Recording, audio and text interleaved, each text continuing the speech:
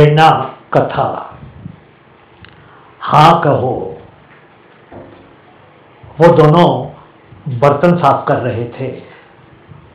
उसकी पत्नी धो रही थी और वो सुखा रहा था। पिछली रात उसने धोए थे। और जानने वाले पुरुषों से फ़र्क वो घर के काम में हाथ बटा देता था। कुछ महीने पहले उसने अपनी पत्नी की एक सहेली को कहते सुना था, तुम्हें बधाई कि इतना ध्यान रखने वाला पति मिला है। वो सोचने लगा कि वो प्रयास करता है कि ध्यान रखने वाला हो सके। इस तरह बर्तन धोने में मदद करके ये दिखाने का एक तरीका था कि वो उसका ध्यान रखता था। बर्तन धोते धोते दोनों बहुत से विषयों पर बातें कर रहे थे। बात बात में वो ये चर्चा करने लगे कि क्या गोरे लोगों को काले लोगों से शादियाँ करनी चाहिए? वो बोला, सब बातों पर विचार करने बाद तो ये लगता है कि ये ठीक विचार नहीं होगा। वो बोली, क्यों? उसने अपनी पत्नी के चेहरे पर गुस्से के भाव पढ़ लिए। वो जानता था कि उसको चुप ही रहना चाहिए, परंतु वो कभी भी चुप रहता नहीं था। वो और अधिक बोलना शुरू कर देता था। उसकी पत्नी के चेहरे पर वही गुस्से के भाव थे। एक बर्तन को हाथ में पकड़े पकड़े वो फिर से बोली, क्यों? वो बोला, सुनो सुनो, मैं काले लोगों के साथ स्कूल में पढ़ता था। मैंने काले लोगों के साथ काम भी किया है। मैं और काले लोग मिलकर काम करने में कोई भी कठिनाई नहीं महसूस करते। मैं नहीं चाहता कि अब तुम मेरी ज़िंदगी में आने के बाद ये कहने का प्रयास करो कि मैं जातिवाद मानने वाला व्यक्ति हूँ। वो फिर से बर्तन धोने लगी। नहीं, मैं कुछ भी कहने का प्रयास नहीं कर रही थी।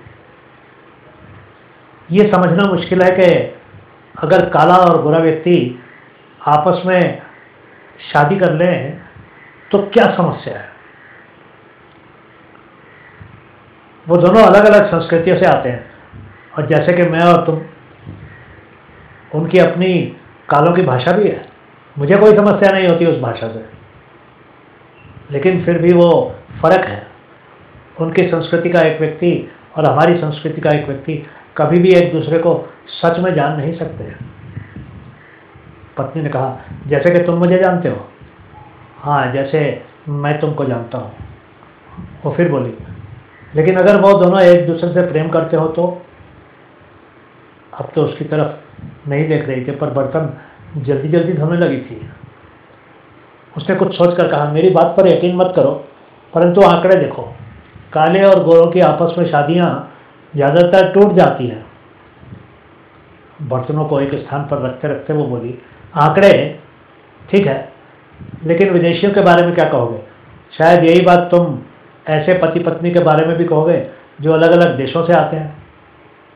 वो बोला हाँ मैं ऐसा ही सोचता हूँ। तुम एक ऐसे व्यक्ति को समझ ही नहीं सकते जो बिल्कुल अलग देश और अलग संस्कृति से आया हो। पत्नी ने कहा, फ़र्क एक जैसा नहीं, हमारे जैसा? वो गुस्से से बोला हाँ फ़र्क। ये चांदी के बर्तन साफ़ नहीं हुए हैं, सब गंदे हैं। उसने सभी बर्तन वापस पानी में डाल दिए। वो बर्तनों को उठाकर धोने लगी। अचानक एक कांटा उसके अंगूठे में घुस गया और खून निकलने लगा। वो बोला, एन, रुक जाओ, हिलो मत, यहीं खड़ी रहो। वो दौड़ कर ऊपर गया और बाथरूम में से अल्कोहल, कपास और एक बैंडेज लेकर नीचे आ गया। वो अपना हाथ पकड़े, फ्रिज के साथ सटी खड़ी थी। उसने रुई को अल्कोहल में डुबाकर उसके अंगूठे के घाव को अच्छे से साफ़ कर दिया। उसने दबाकर जमा हुआ खून निकाल दिया और एक दो बूंदों के बाद फिर से अल्कोहल लगाकर बैंडेड लगा दिया। चिंता मत करो, घाव गहरा नहीं है। कल सुबह तक तुमको पता भी नहीं चलेगा कि घाव कहाँ था। वो चुपचाप खड़ी उसको देख रही थी। वो ध्यान से बैंडेड लगा रहा था। वो बोला, तुम ऊपर जाकर आराम करो। मैं ये बर्तन कर लूँगा। नहीं, मैं ठीक हूँ। वो बोली, मैं सुखाने का काम कर सकती हूँ। वो बर्तन धोने लगा और कांटों पर विशेष ध्यान देने लगा। वो बोली तो अगर मैं काली होती तो तुम मुझसे शादी नहीं करते, है ना? हे भगवान, यही तो तुमने कहा था, है कि नहीं? वो बोला, नहीं, मैंने ऐसा नहीं कहा था।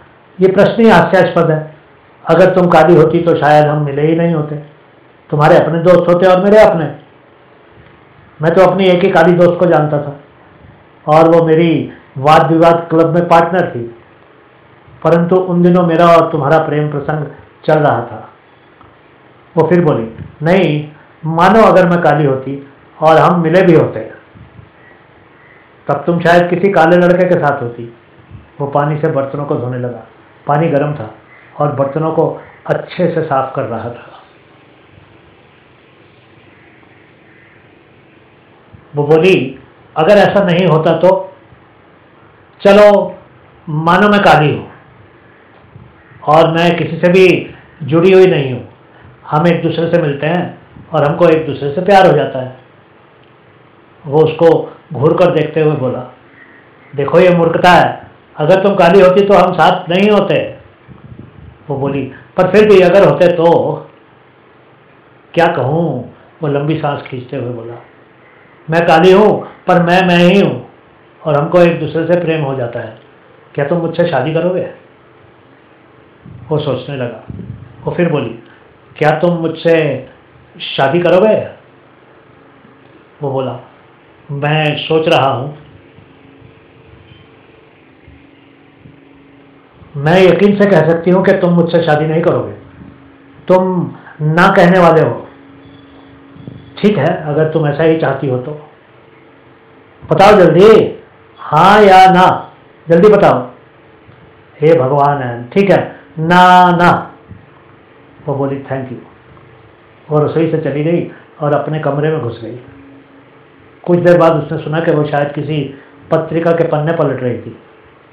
वो जानता था कि वो बहुत ही गुस्से में थी और पढ़ नहीं रही थी। उसने रसोई में काम समाप्त किया और बाहर आ गया। उसने कचरे की बाल्टी उठाई और उसको घर के बाहर रखने चल दिया। रात एकदम साफ़ थी और कुछ तारे भी दिख रहे थे। उसको शर्म आ रही थी कि उसने अपनी पत्नी से झगड़ा कर लिया था। अचानक दो कुत्ते उसके कचरे की बाल्टी की तरफ़ लपके। वो दोनों आपस में खेल रहे थे और खुश लग रहे थे। कुटिया तो विशेष रूप से खुश लग रही थी और वह ज़मीन पर पलट रही थी और उछल भी रही थी। जब वो वापस आया तो घर के अंदर अंधेरा था। वो बाथरूम के अंदर थी। उसने बाहर से ही उसका नाम पुकारा। उसने जवाब नहीं दिया। वो बोला, मुझे माफ़ कर दो एन आई एम सॉरी मैं आगे से ऐसा नहीं कहूँगा। मैं सब ठीक कर दूँगा। ये मेरा वचन है। वो बोली, कैसे? वो दरवाजे के पास आकर धीमे से बोला, मैं तुमसे शादी करूँगा। वो बोली, देखेंगे। जाओ, बिस्तर में घुस जाओ, मैं आती हूँ। वो बिस्तर में लेटकर उसके बाथरूम से निकलने का इंतज़ार करने लगा। वो बोली, बत्ती बंद कर दो। क्या? बत्ती बंद कर दो। उसने बिस्तर के पास बटन दबाकर बत्ती बंद कर दी। वो लेट कर इंतज़ार करने लगा। अंधेरा हो गया था। उसने कमरे में कुछ सरसराहट सुनी, लेकिन कुछ भी नहीं हुआ। वो उठकर बैठ गया, परंतु अंधेरे में कुछ भी नहीं दिखा। उसका दिल वैसे ही धड़क रहा था, जैसे कि शादी की पहली रात धड़का था। उसको घर में किसी के चलने की आवाज़ आने लगी। एक अजनबी के चलने की आवाज़। मित्रों पति पत्नी के बीच बहुत सी बातें होती हैं और बहुत बार गलत फहमियाँ और भ्रम भी हो जाते हैं। पति पत्नी का संबंध बहुत ही नाजुक होता है और दोनों में से कोई नहीं जानता कि अचानक कौन सी बात दोनों को एक बार फिर से अजनबी बना देती है। ध्यान रखिएगा। बहुत बहुत धन्यवाद।